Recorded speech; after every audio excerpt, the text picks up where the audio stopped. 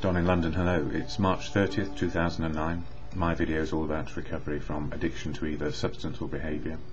My addictive substance, alcohol, for many years. My behaviour, trying to be perfect, far too often. Uh, trying to be something I maybe wasn't, or maybe I was trying to be. I guess I was trying to be whatever else other people thought I ought to be. And it took me a long time to learn that uh, part of my problem was always fear fear sort of sat behind me all the time, pushing me on to be as perfect as possible, because that's what I thought people wanted me to be. And somehow, I don't know how it happened, I fell into addiction. Well, I do know it happened actually. Fear was ruling my life, and drink took the edge off. Took the edge off me completely, so it made me acquiesce, that is, kowtow to other things, people, places and things, and just get on with part of part of everything, but not actually knowing who I was. And the great gift for me in recovery is I'm just finding out who I am on a daily basis and making some gentle choices in the day to do what is right for me and no longer bother about drinking or other addictive behaviours. And what makes it possible really is going to fellowship, the fellowship of Alcoholics Anonymous. I don't speak for it, never will. But it saved my life, and I can share my experience, strength, and hope here and how it does it. And uh, yesterday, for the first time in many months, I didn't go to a meeting.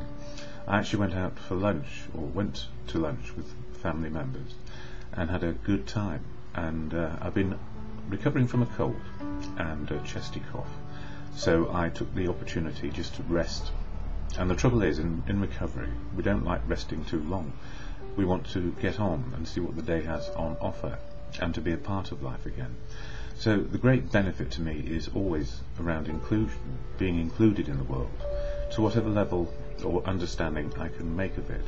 And it's not it's not conditional on fitting into a pattern or conforming to a pattern which somebody else lays down. It's just being part of family, community, society, civilization, the world as we know it, and seeing the world as it is, and in reality, with less denials and less filters. So the guess, the, I suppose the gift is for me in recovery, there are less denials in me about my life and my situation, and less filters getting in the way, namely alcohol or other behaviours, which take the edge off the reality of now. And actually, the Fellowship of AA has helped me greatly in so many ways, I don't know where to start. So it's a very complicated picture, but the, the simple answer is don't drink one day at a time or don't indulge in the addictive behaviour one day at a time. So to help me, I go to the fellowship meetings of AA and at the beginning of every AA meeting this preamble is shared and it helps me slow myself down into the moment of now so I can listen to other people and then share as well based on what I hear and what, I, what, what may be done. So the preamble of AA. Alcoholics Anonymous is a fellowship of men and women who share their experience, strength and hope with each other, that may, they may solve their common problem and help others to recover from alcoholism. The only requirement for membership is a desire to stop drinking. There are no dues or fees for AA membership. We are self-supporting through our own contributions. AA is not allied with any sect, denomination, politics, organisation or institution. Does not wish to engage in any controversy, neither endorses nor opposes any causes. Our primary purpose is to stay sober and help other alcoholics to achieve sobriety. And I guess, you know, that last line, if you like, our primary purpose is to stay sober and help other alcoholics to achieve sobriety, is key for me. And uh, whilst I might not have gone to a meeting yesterday, I did do my video, and I had a, I had a, an email from uh, somebody who is part of the orangepapers.org, and from what I can see, I need to actually sit down and read it again, but um, the problem is it quoted lots of statistics about what sort of people, uh, what, ha what happens to people who have gone to AA, and the statistics are slanted to suggest that AA does more harm than good. And i I can forget and get embroiled in a circular argument if I'm not careful that uh, AA is doing more harm than good. And I can only speak from my own experience, which is it's doing me good and less harm. And uh, I have the opportunity to make choices today in terms of my spiritual beliefs, my emotional stability, and my physical well-being. So those three, three things are the ones which I judge my sobriety on and uh, what I suppose judge the efficacy of AA. And much of what is said in these orange papers is, is to suggest that uh, the, the, vast proportion of people who go to AA uh, are going to find difficulties and more self-harm because of it. Now the problem is, as, as I know, most people who get to AA are already very severely damaged people, and that includes me too. So I was severely damaged.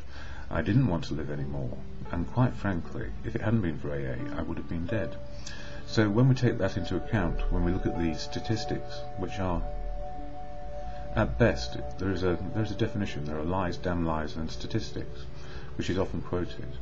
The statistics can be worked to suit a purpose.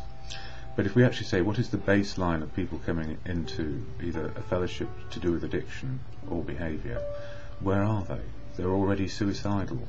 They're at their last, they're in, in their last chance saloon, the last resort. So when we take that population of people and then ask ourselves how many people keep on coming back and make it, I don't know, simply because there are no reliable statistics. And that's nobody's fault. But if it's to suggest that statistics are the answer to whether something something is uh, reaching a performance target that is in the mind of another person, I don't know that we'll ever get to the truth of it. So, where am I in that balance? Well, the balance for me is I'm sober today. I don't want to change anybody's opinion about anything. And whatever works for another person, I wouldn't want to meddle or undermine it. So if orangepapers.org keeps a person sober and in control, if that's what they want from their lives, that is perfectly fine by me. I shall just keep on going and be a part of a fellowship which saves my life on a daily basis. So I've gone on a bit actually, and uh, it's all about step three in March.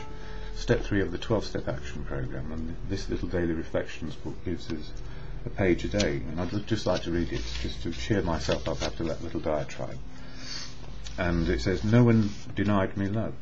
On the AA calendar, oh, I'm going too fast. The next, that's for tomorrow. March 30th, our group conscience.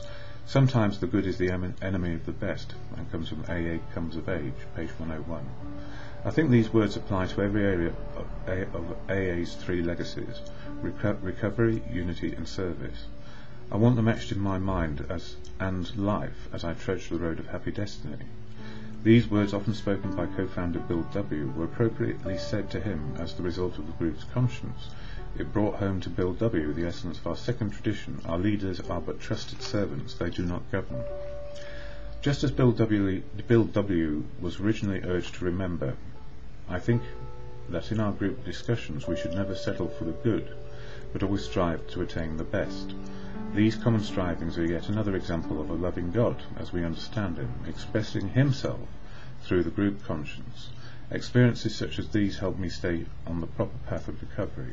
I learn to combine initiative with, with humility, responsibility with thankfulness, and thus relish the joys of living my 24-hour program. And you know the the most important thing about fellowship and recovery is to be included in a body of people who just want to stay sober. And the reason why it's always talked, it always talks about experience, strength, and hope. It's the experience of living sober, the strength of living sober, and the hope to live sober.